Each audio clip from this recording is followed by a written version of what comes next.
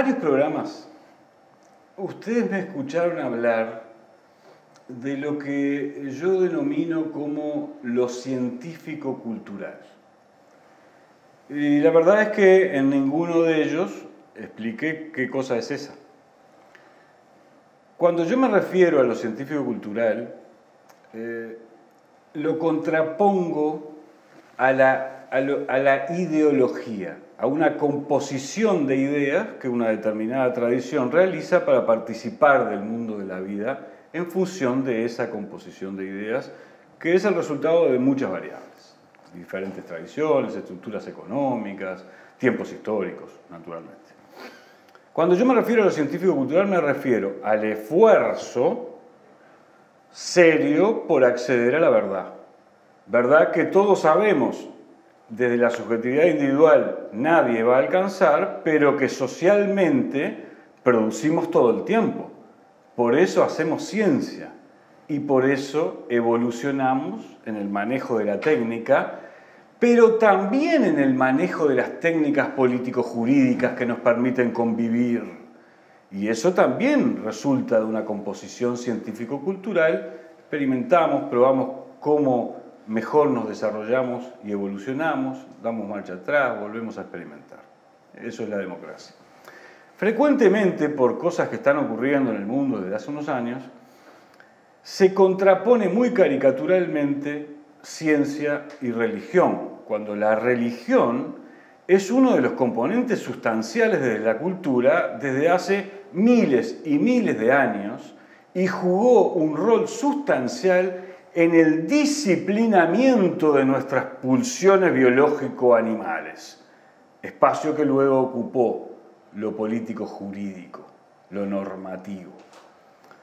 Entonces a mí me parece muy relevante eh, darle eh, importancia a la reflexión sobre la dialéctica ciencia-religión.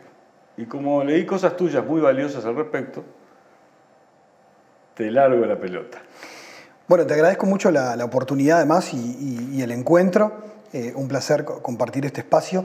Eh, sin duda que se ha creado un mito eh, que tiene su origen en el siglo XIX del mito del conflicto entre ciencia y religión.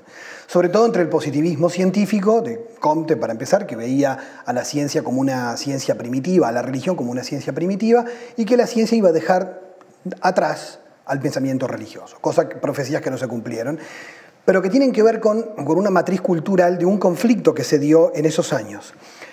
Y eso generó un montón de ideas que hoy pululan convencionalmente e incluso vienen de más atrás.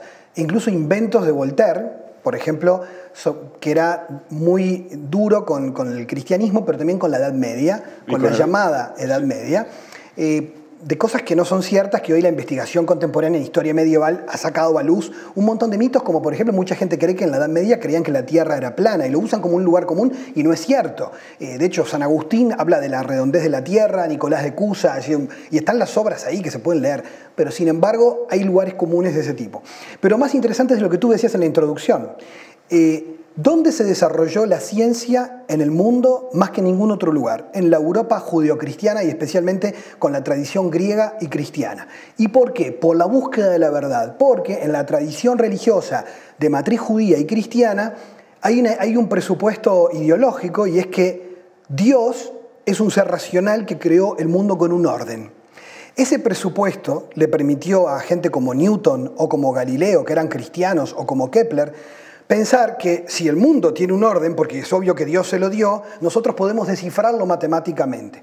Quiere decir que, aunque la ciencia después se independizó de la religión y se secularizó, la matriz que le permitió ese, ese tipo de, de fe en el progreso, de que el mundo tiene que ir para adelante, que no es igual en Oriente, esa idea del tiempo lineal, que es típica del pensamiento hebreo, y que después el propio Marx va a secularizar en una utopía intrahistórica, es decir, la salvación a nivel de un progreso histórico, eso tiene que ver con una cosmovisión que es de una matriz cultural que nace de una cosmovisión religiosa.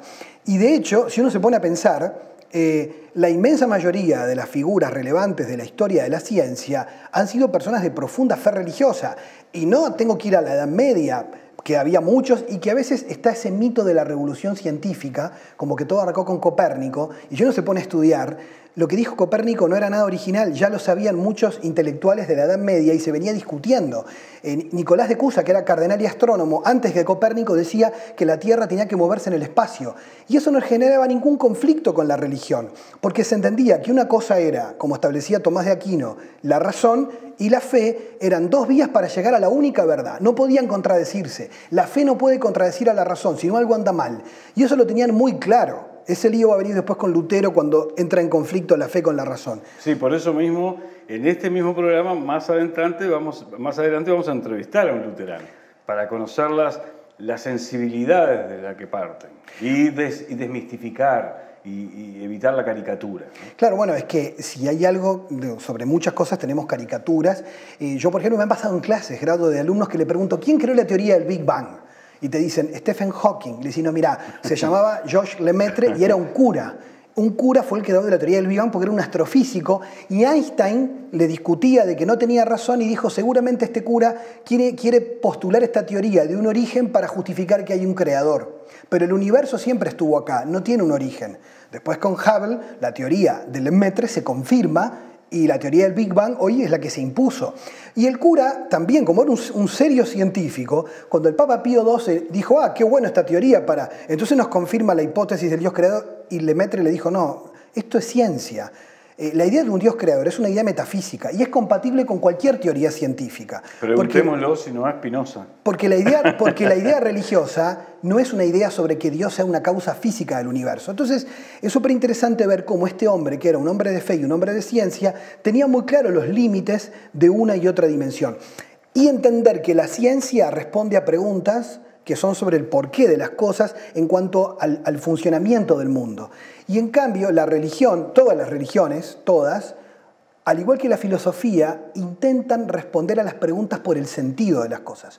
Por, el, sentido del ser. Por el, para qué, por el para qué, por el sentido de la vida, que es una pregunta que la ciencia nunca va a tener respuesta. Si la vida tiene o no sentido, para la ciencia eso no es una pregunta válida, porque no tiene método para ese tema. Es un tema filosófico o religioso. De ahí que ciencia y religión pueden convivir salvo, salvo, que sí existe, que haya fundamentalismo. Bueno, entonces un segundo, un segundo, un segundo. Porque hasta acá compartimos todo y ahora voy a tratar de introducir un tema donde quizás no. Eh, hay un momento de la historia de la filosofía, de las religiones, de las ideologías y de la ciencia, en el que cuando adquieren una estructura de poder estatal nacional, corren el riesgo de caer en el fundamentalismo o en el totalitarismo. En todas las tradiciones esto pasó. Luego hubo procesos de regeneración, porque todas las tradiciones universalistas contienen humanismo. Por eso todas las tradiciones religiosas se recompusieron, de cosas espantosas, como expulsar a Espinosa, para hablar de una cosa no demasiado grave, eh, y, la tradición católica de, de, de otras, y la reforma, y la contrarreforma, y, y el marxismo mismo. Quiere decir que todas las grandes tradiciones universalistas en algún momento caen en la tentación autoritaria y eso no podemos dejar incorporarlo a la cuestión verdad autoritarismo, verdad única, verdad dogmática. ¿Cuál es tu opinión sobre este tema? Porque cuando yo hablo de lo científico cultural es porque creo en la verdad y no en el relativismo cultural.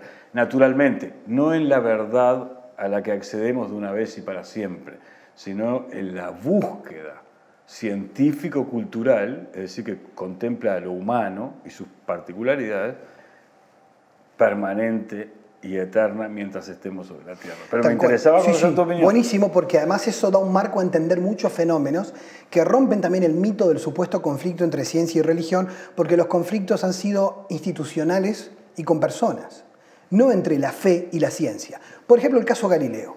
Fíjate vos que el caso Galileo, a partir de la obra de Bertolt Brecht, y muchos ha hecho famoso el Epurse Mob, pero en realidad eh, el, conflicto con Galileo no era un conflicto entre ciencia y religión. El conflicto con Galileo era un conflicto que en su contexto, ¿cuál era el problema? Galileo era un hombre despegado científicamente.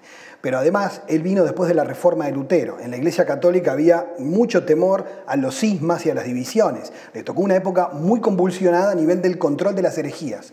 Pero a su vez, Galileo, eh, él escribe una obra, varias obras, pero una de las obras que escribe es ironizando a a los jesuitas, y, ironizando sobre todo a, algunos teóricos que estaban en el poder de la iglesia en ese momento, que eran aristotélicos y que defendían el modelo aristotélico. Es decir, él ironiza a la comunidad científica de la época, la está ironizando.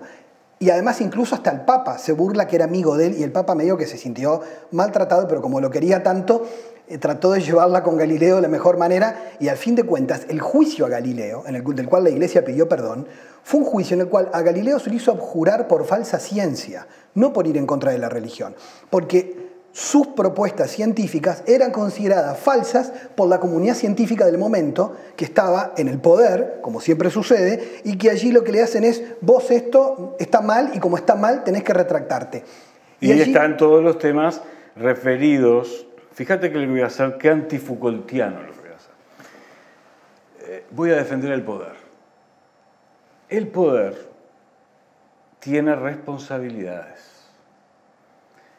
De modo que todos esos discursos sobre el, críticos del poder, así como barriendo, contienen una gran superficialidad.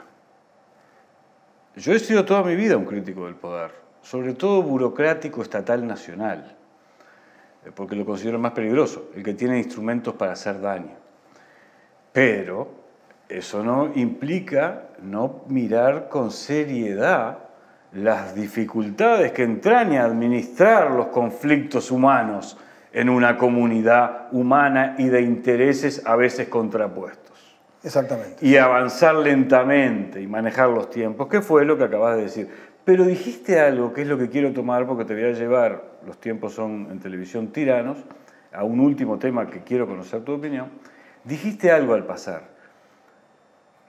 Había lo humano, el humanismo, la calidad humana de los diálogos tiende a resolver estos conflictos y no el encono irracionalista que en general busca objetivos muy mezquinos.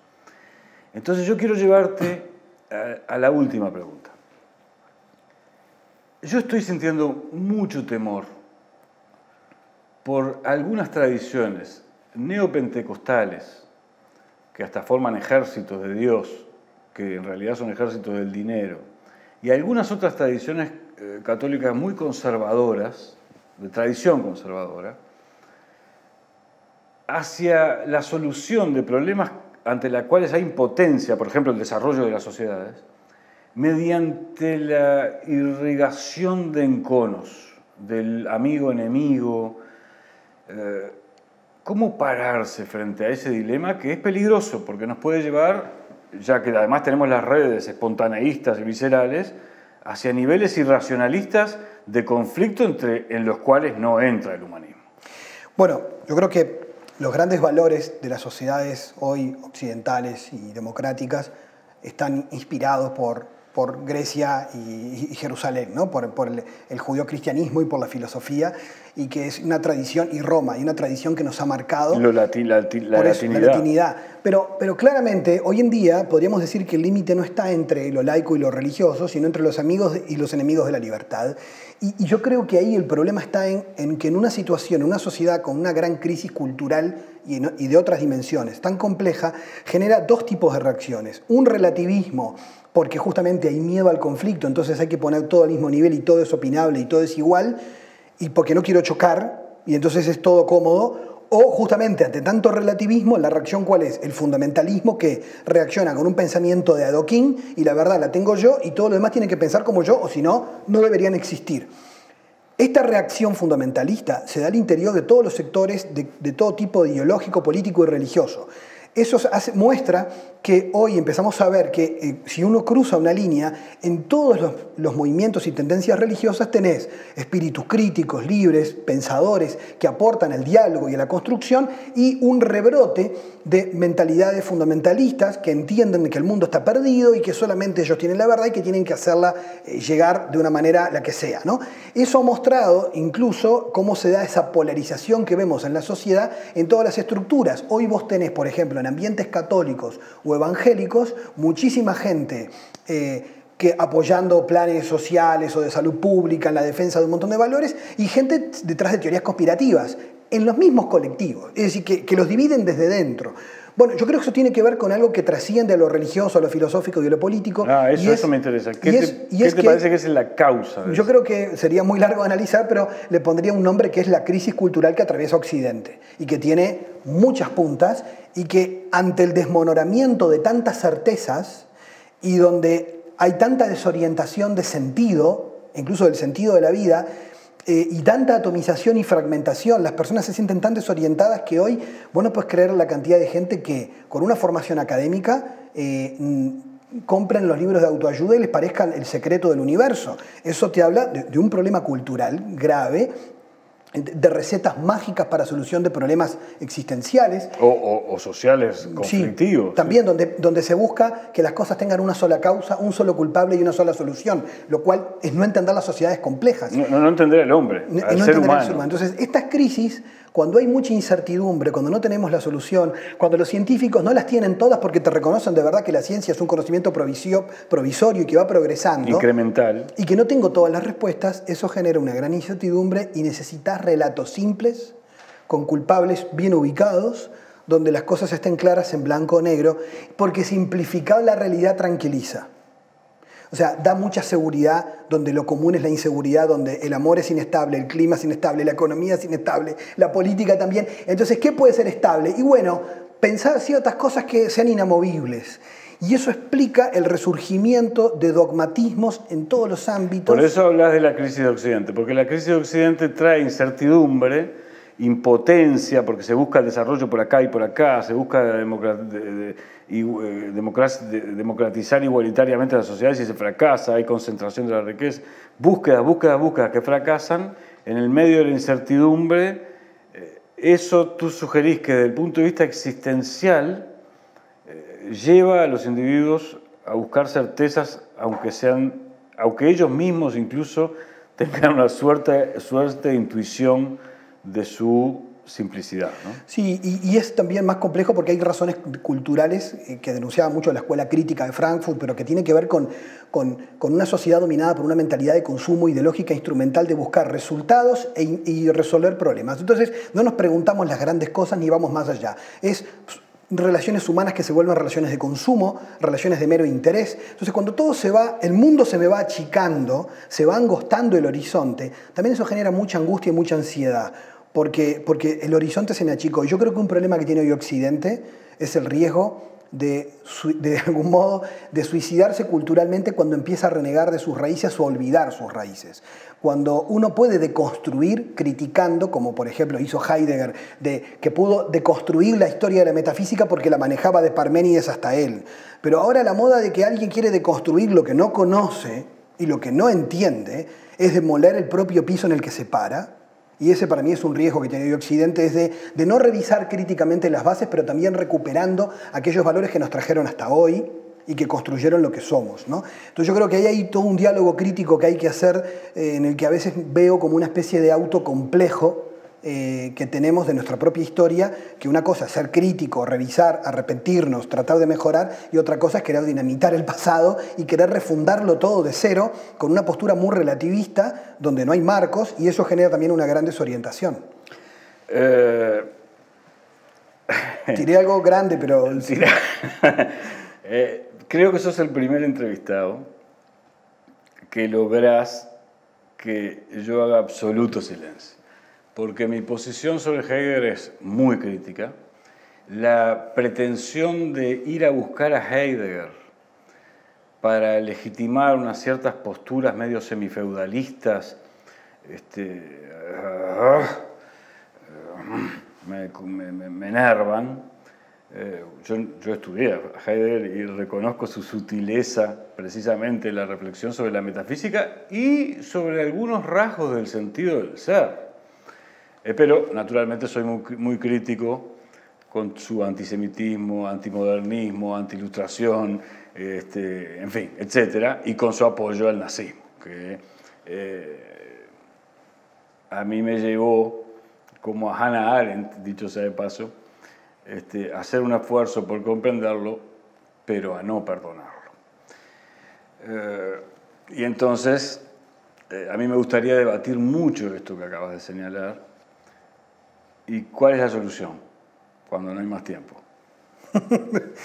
Estamos los dos vacunados, de modo que yo sé que los telespectadores se van a enojar un poco, pero vamos a agendar una reunión para en un ámbito privado seguir discutiendo. Lo que podemos hacer es, si nos es útil a los dos y los dos aprendemos, de eso se trata, el diálogo y la deliberación democrática, cada uno de nosotros sabremos luego transmitir, compartir conocimiento en lugar de ideología y afectividad en lugar de agresividad. Nos encontramos enseguida, amigos.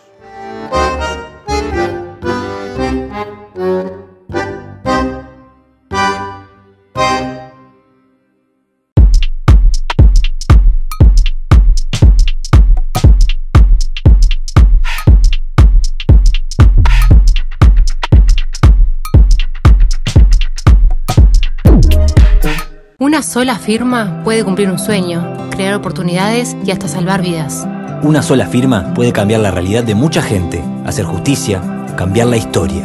Si una sola firma puede hacer todo eso, imagínate todas las nuestras juntas. Juntemos nuestras firmas contra una ley creada por pocos, pero que afecta derechos fundamentales de todos y todas. Campaña pro referéndum para impugnar 135 artículos de la LUC. Para que nadie quede afuera, poné tu firma al futuro. Existir Sociedad Anónima es el único importador oficial de repuestos Jack. Trabaja tranquilo con repuestos originales y visitanos en nuestra nueva planta de la Ruta 1, kilómetro 28500.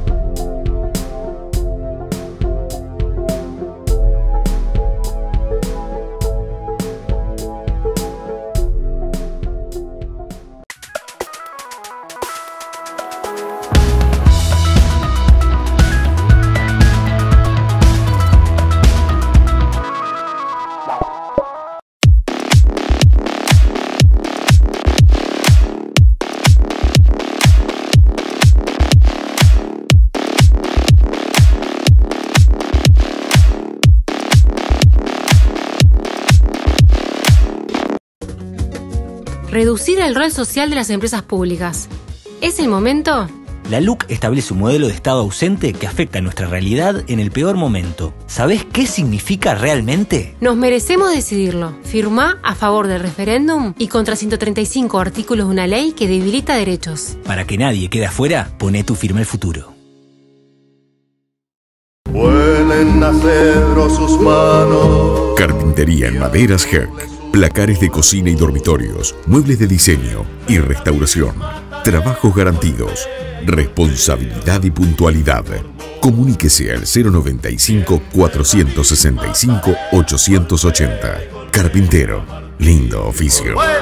Carpintería Heck. Carpintero, lindo oficio. ¿Quién no lo quiere aprender?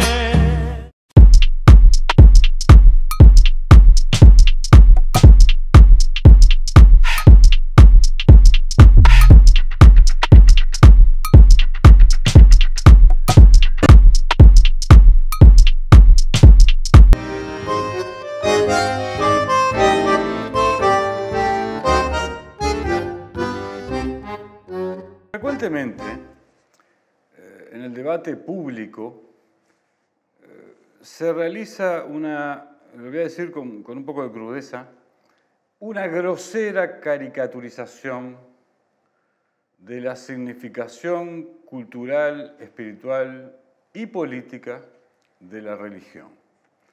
Esto obedece naturalmente a que hay intereses, conflictos de poder, eh, de los cuales ninguna religión puede abstraerse, ninguna institución, además, religiosa en particular, puede abstraerse. Eh, yo, humildemente, tengo que reconocer en general mi ignorancia en, eh, en estos temas, no mi ignorancia absoluta, que he leído bastante, pero mi ignorancia. Eh, me propongo hoy aprender. Por ejemplo, Nicolás, ¿cuál dirías tú que es la sustancia que ha quedado en la cultura occidental de lo que Ardao llamaba el cisma de la emergencia del, protestantismo? Buenas. Eh, bueno, un gusto esta, esta conversación. Eh, y, pensar el rol de la religión en la cultura mundial, la cultura uruguaya, en las grandes transformaciones. Eh, el protestantismo, eh, Ardao era un gran interesado, era una persona que le gustaba mucho discutir con los protestantes uruguayos, con los intelectuales de, su tiempo, porque veía que, en Uruguay la dimensión de la, de la, capacidad de protesta del protestantismo, de la, del disenso, de la crítica a lo hegemónico, a lo que se plantea como totalizante.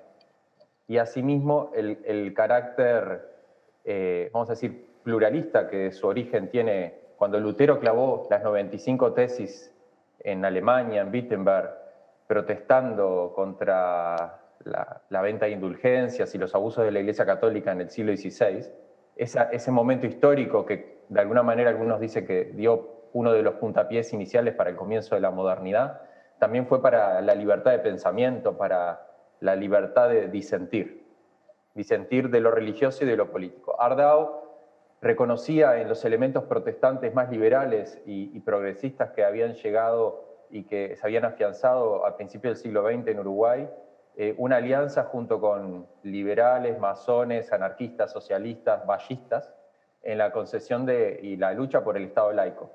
Lucha por el Estado laico laico que al comienzo del siglo XX en Uruguay tenía básicamente una lucha por la eh, educación no confesional, no proselitista, por la igualdad para todas y todos eh, en las aulas y en otros ámbitos de la cultura y la sociedad uruguaya. El protestantismo en Uruguay y en toda América Latina fue pionero junto con otros actores, obviamente, de la sociedad civil y política, eh, en esa lucha, digamos, por, por la libertad, por la laicidad en América Latina. Pero bueno, los protestantismos han ido mutando. Sí, déjame, déjame llevarte ahí, déjame llevarte ahí porque yo tengo una inquietud sí. que te la voy a tratar de plantear lo más brevemente posible, porque lo que me interesa es escucharte a ti en este caso particular. Eh, el judaísmo, en su origen, es una religión vinculada a la libertad, la competencia y la cultura. No puedo explicar por qué estos tres contenidos sustanciales caracterizan al judaísmo en su origen, pero podemos decir que el diálogo entre lo judío y lo helénico, la Grecia de Pericles, eh, eh, está muy caracterizado por estos componentes. En el caso judío, además, obviamente estaba la la lucha por la esclavitud, y por eso el contenido de libertad tenía tanta significación. así como el contenido de igualdad tuvo tanta significación en la génesis del cristianismo. Posteriormente, eh, en la época en que tú referís, la Iglesia Católica se había convertido en una institución muy asociada al feudalismo, a la lógica feudal terrateniente, era propietaria de tierras como institución y por lo tanto tenía intereses en la preservación de esas posesiones frente a la burguesía naciente, a la competencia naciente meritocrática en muchas esferas de la vida y de las ciudades en particular. El protestantismo también viene a responder a ese conservadurismo radical en el que había caído la Iglesia Católica como institución. Y que fue histórico, dicho sea paso, porque ninguna institución se mantiene en una misma posición siempre, ¿no? Se regenera o no sobrevive. Y la Iglesia Católica está muy presente en la historia, y hoy también. Así que se ve que se regeneró, o como le pasa al marxismo y como le pasa a otras tradiciones. Que el marxismo cayó en el estalinismo, por ejemplo, y se está regenerando ostensiblemente ahora en el mundo entero y vuelve a ser muy influyente.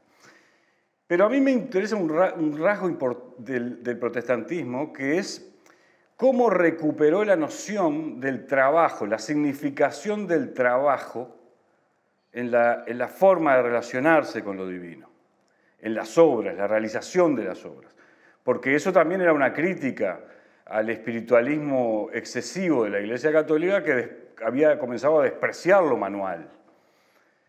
Pero en la evolución de ese pensamiento, y me importa muchísimo tu, tu, tu percepción sobre este fenómeno, parece haberse caído, sobre todo en la tradición anglosajona, en un grosero individualismo que en cierto sentido entraña peligros y que está detrás de la manipulación del dinero, es decir, la sustitución de Dios por el dinero que parecen hacer algunas corrientes neopentecostales contemporáneas. He sido muy largo, tenés más cantidad de tiempo para responder. Bueno, eh, hiciste un, hilo de, ideas y de transformaciones eh, bien, bien complejos que, quedarían para muchas charlas, pero para no irme tan atrás y, quedarme con esta última parte, eh, desde la perspectiva de Walter Benjamin, un, filósofo judío importantísimo para, para el siglo XX, este, él planteaba ¿no? que el, capitalismo tiene, se ha vuelto o tiene símbolos o tiene funcionalidades que las religiones tenían antaño, ¿no? Y, por más que muchas veces nos quedamos con la caricatura de Max Weber de que la ética protestante fue la que fundó el capitalismo por todo este espíritu de competencia, y bueno, habría muchos elementos para vincular obviamente el protestantismo con el surgimiento del primer capitalismo, eh, creo que en realidad lo que pasa con las corrientes que se fundamentan en esta teología que tú estabas mencionando de la teología de la prosperidad, o sea que cuando el vínculo entre la persona y lo divino es mercantil, o sea, tú le das a la divinidad o a la iglesia o al pastor o a su representante y esa divinidad te va a beneficiar, te va a dar, este, de acuerdo a ese compromiso económico, te va a multiplicar.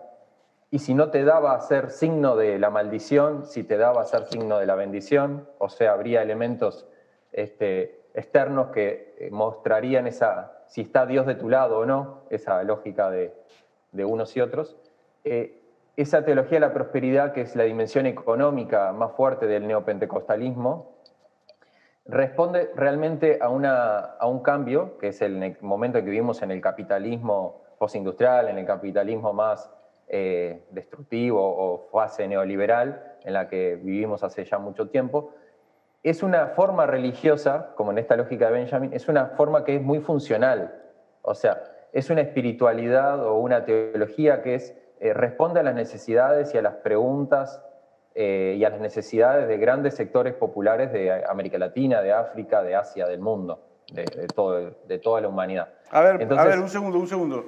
Explica un poquito mejor eso, explica un poquito mejor eso. Que, que esta dimensión eh, de neopentecostalismo tiene dentro de su prédica esto de la teología de la prosperidad, del vínculo con lo divino de forma mercantil, y parte en realidad de, tiene muchas razones el crecimiento de estos discursos, pero en parte tiene que ver con que responde a que muchas personas, grandes sectores populares de América Latina y del mundo están eh, buscando una respuesta, y a veces una respuesta inmediata, es una respuesta rápida eh, frente a las angustias existenciales y económicas, este, y es allí donde estas lógicas religiosas tienen un, tipo de respuesta. Tienen otras respuestas que no, que no son, que también son efectivas y quizás no son tan, vamos a decir, la palabra cabe, perversas en, cierto sentido de, cómo pueden distorsionar el sentido de la religión como religar con lo divino. Sí, sí, como, y, como, y como sentido del ser, como búsqueda del sentido. ¿no? Y como sentido, y como comunidad y como encuentro, porque también estos grupos, eh, también ahora hablando de otro aspecto que sí el pentecostalismo y el neopentecostalismo, vamos a decir, que en cierto punto eh, han dignificado la vida de muchas personas, ¿no? Porque no, uno no puede ver esto como de buenos y malos. Claro, por supuesto. En, por supuesto. En una caricatura eh, muy danina, ¿no?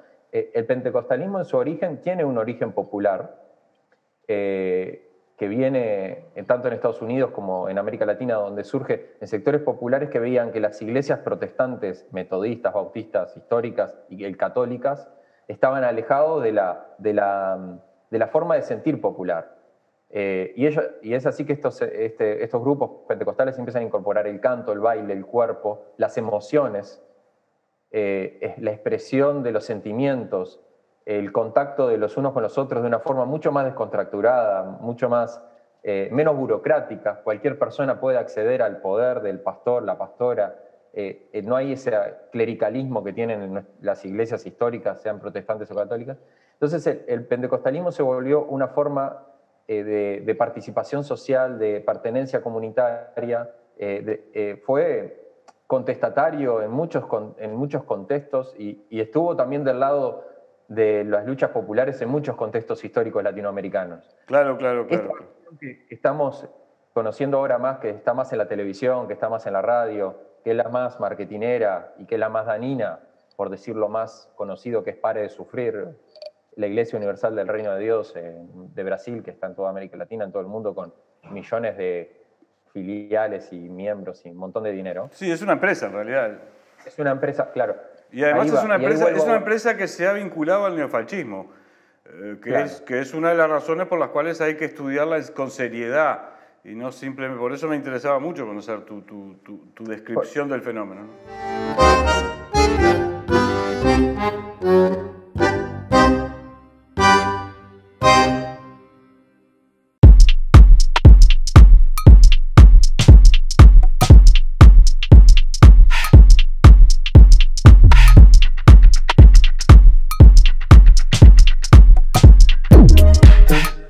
Sola firma puede cumplir un sueño, crear oportunidades y hasta salvar vidas.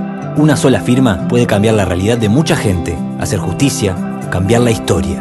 Si una sola firma puede hacer todo eso, imagínate todas las nuestras juntas.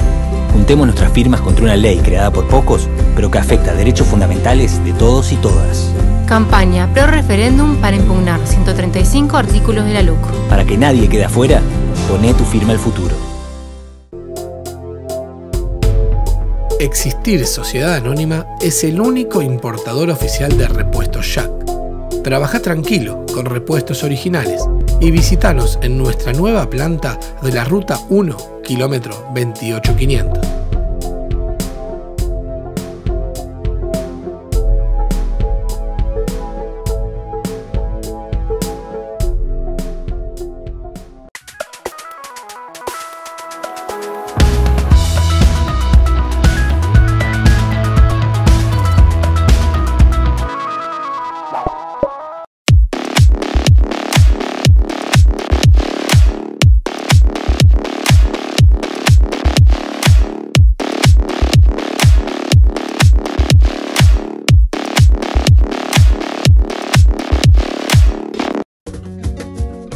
Reducir el rol social de las empresas públicas. ¿Es el momento? La LUC establece un modelo de Estado ausente que afecta a nuestra realidad en el peor momento. ¿Sabes qué significa realmente? Nos merecemos decidirlo. Firma a favor del referéndum y contra 135 artículos de una ley que debilita derechos. Para que nadie quede afuera, pone tu firma al futuro. Vuelen sus manos. Carpintería en maderas Herc placares de cocina y dormitorios, muebles de diseño y restauración, trabajos garantidos, responsabilidad y puntualidad. Comuníquese al 095-465-880. Carpintero, lindo oficio. Carpintería Heck. Carpintero, lindo oficio. ¿Quién no lo quiere aprender?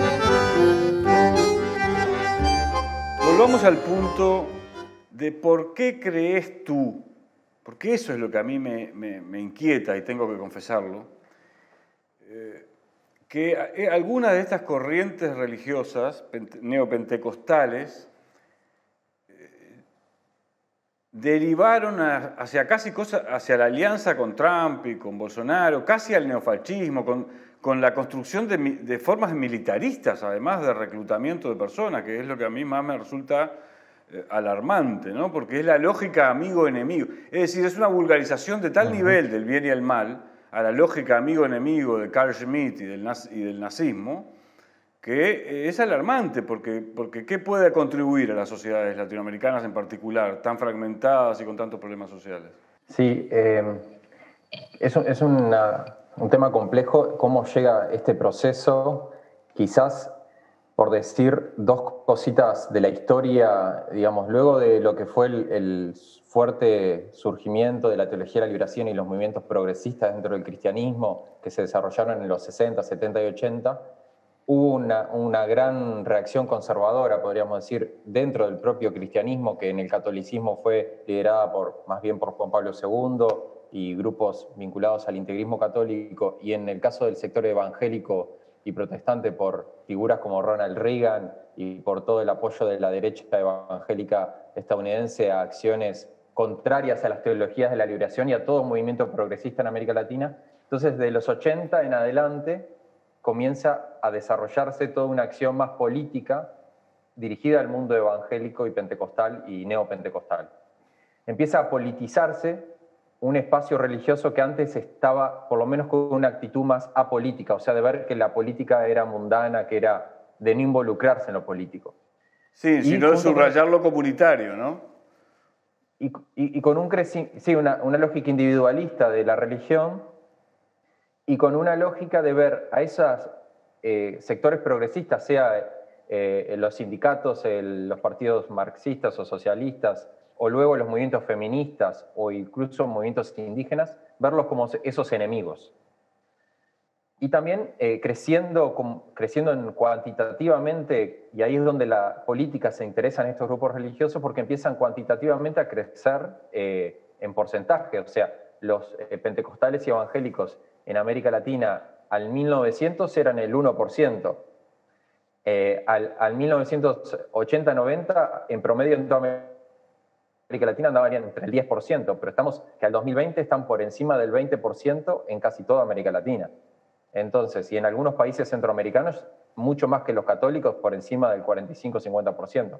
En Brasil se prevé que para el 2000, creo que 40, ya van a pasar a los católicos, Brasil siendo el país donde hay más católicos del mundo. O sea, estamos hablando de un cambio geopolítico religioso de características importantes y esta tendencia se llegará a, mantener en el tiempo. Entonces, Nicolás, permitime, hacerte una pregunta, que es la clave del asunto y por lo tanto rezo por lo menos al Dios de Espinosa, la naturaleza de la energía, para que pueda escuchar bien tu respuesta.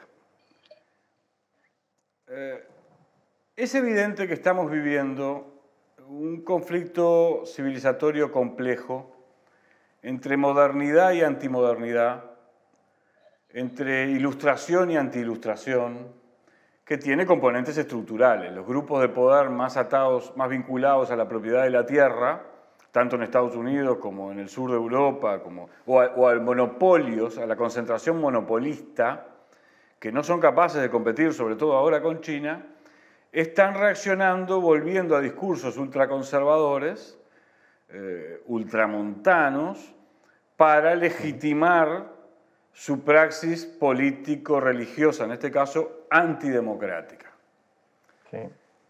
¿Qué hacemos todos los demás? ¿Qué hacemos los demócratas frente a este problema?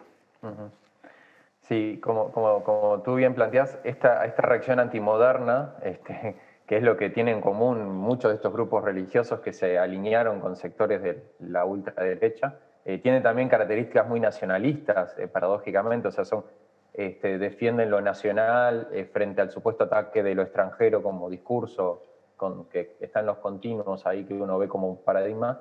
Yo creo que la forma de revertir o de complejizar o de, de alguna manera empezar a problematizar esta situación es primero no, no, no, no replicar lo que nos sentimos con un espíritu plural y democrático, no, no replicar esta lógica de buenos y malos y de enemigos y amigos, ¿no? Incluso con estos grupos que a veces se plantean como fundamentalistas y conservadores y que, que atacan a muchos actores sociales, feministas, sindicalistas, etc. Eh, el desafío creo que es encontrar canales de diálogo, puentes de, encuentro, puntos en los mínimos que podamos empezar a dialogar, porque son muchas las personas que tienen creencias de distinto tipo y, y, y algunas son conservadoras de, esta, de, este, de estos conceptos, de estos que, paquetes de creencia, digamos, y creo que se puede de alguna forma con el encuentro, que justamente, bueno, en la pandemia se, se nos está dificultando, pero yo creo mucho y porque lo he visto en comunidades concretas de pentecostales y no pentecostales y en personas concretas, que cuando uno va al encuentro sincero, al encuentro que nos humaniza, eh, que nos permite ver los problemas sociales que nos son en común, los sufrimientos humanos que a, todos nos mueven, eh, la espiritualidad y la fe cristiana, como puede ser la fe budista, judía o, cualquier filosofía, se tiende a humanizar. Sale del, del totalitarismo porque cualquier filosofía o teología puede ser totalitaria. O, o tener, no, o tener eh, ten, o, tentaciones autoritarias cuando está en el poder burocrático de lo estatal nacional, sobre sí, todo, o de lo institucional claro. global. Puede, puede convertirse o ser funcional a sistemas totalitarios, pero yo pienso que, que incluso con, esto, con estos sectores religiosos que nos cuesta comprender, eh, existen cambios posibles y, y se está viendo que hay fisuras y grietas incluso cuando hay grandes actores políticos y grandes intereses económicos que quieren capitalizar la totalidad de estos movimientos religiosos para, su función política. Eh, pero yo creo que es posible con el encuentro, con el diálogo, con el conocimiento de la diversidad y, bueno, y, no bajarle la persiana al diálogo a, a, ninguno de estos actores, ¿no? Creo que ahí la izquierda, con esto termino, ha tenido una dificultad histórica, ¿no? De dialogar con los sectores religiosos por los propios prejuicios heredados de interpretaciones marxistas un poco vulgares, eh, ajustadas o vulgares, pobres. vulgares, vulgares. Sí. sí. Mar, Mar, que, Marx, decía, Marx decía que la religión eh, es la filosofía espiritual humanista de la antigüedad, es decir, el origen del proceso de la civilización, nada menos. Pero claro, se han, se han este, manipulado otras eh, frases que son el resultado de un conflicto con la iglesia ultraconservadora de su época, que era feudal, contra la revolución burguesa. ¿no? Este, bueno, está, pero, pero ¿querés que te diga una cosa? Además de agradecerte, porque aprendí, efectivamente, como imaginé que iba a ocurrir, eh, hay un tema que nos queda. No lo vamos a tratar ahora, pero, pero lo quiero dejar enunciado. Eh, es un tema tan delicado que tengo que tener cuidado. Eh, Estoy viendo en estas reacciones ultraconservadoras, monopolistas, el poder totalitario, eh, que necesitan de ese poder totalitario para no competir en un mundo en que la competencia en todas las esferas, las positivas y las negativas, las de la libertad, pero también las de la mercantilización abusiva, son muy complejas, estoy viendo una reacción eh, que es antihumanista. Y yo creo que esa es la cuestión. Repensar el humanismo, todas las tradiciones universales, o que tienen vocación universalista, vocación humanista en su génesis. Esa es la clave, el humanismo radical y qué diálogo más fructífero se puede tener en relación al humanismo radical que eh, las tradiciones religiosas judeocristianas protestantes, el marxismo y el liberalismo original. ¿Qué, qué, qué, qué construcciones filosófico-culturales como visiones más ricas para repensar el humanismo que ellas podemos encontrar? En mi opinión, ninguna. Y ahí hay que buscar, eh, estoy hablando de Occidente naturalmente, ¿no? Que Oriente es otro mundo. Y te, te, invito a seguir esa reflexión, uh -huh. si la compartís naturalmente. ¿no? Sí, se me vinieron eh, dos, dos, frases, eh, una de un filósofo judío que, que era muy, muy, seguido por varios protestantes, que es Emanuel Levinas, claro. que decía que en la, eh, la, traducción de ama a tu prójimo como a ti mismo debería haber sido ama a tu prójimo, él es tú mismo, ¿no? Esto de la interconexionalidad, la otredad, que estamos vinculados nuestra existencia a la existencia de los demás. y después de, una frase que se le atribuye muchas veces a Bertolt Brecht, pero que en realidad eh, parece ser que la dijo Martin Niemöller, un pastor luterano en la época del nazismo, primero que había apoyado al régimen nazi y luego se arrepiente y se da cuenta que estaba errado. Y dice esa frase de vinieron por los judíos y yo no protesté porque no era judío, vinieron por los sindicalistas y yo no protesté porque no era sindicalista, vinieron por los comunistas, vinieron por los católicos y yo no protesté porque era protestante y después vinieron por mí y ya no quedaba nadie que proteste por mí. Si en esa lógica de que la protesta, la lucha por los derechos humanos, la existencia del otro que es distinto a mí en algún aspecto, que siempre somos distintos, gracias naturalmente. a Dios o, gracias a los dioses, eh, esa existencia del otro eh, es la que me permite la vida y, también las instituciones en este sentido, sean los partidos políticos, las universidades, los sindicatos o las iglesias o las organizaciones, tenemos que cambiar quizás radicalmente algunas formas tradicionales que nos encierran en nosotros mismos para abrirnos a la ecología de la diversidad de los encuentros, ¿no? O sea, a los encuentros con, las diversidades, que son la única forma que nos va a permitir como sociedad, como humanidad, eh, salir de la crisis que estamos, que, es muy compleja, eh, que, es, que es humana, que es ecológica, que es no es solo sanitaria, es... No, no, productiva, cultural y existencial. Eh, me, voy a permitir hacer algo que, que, nunca hago. Eh, estimados telespectadores, yo no tengo nada más que decir.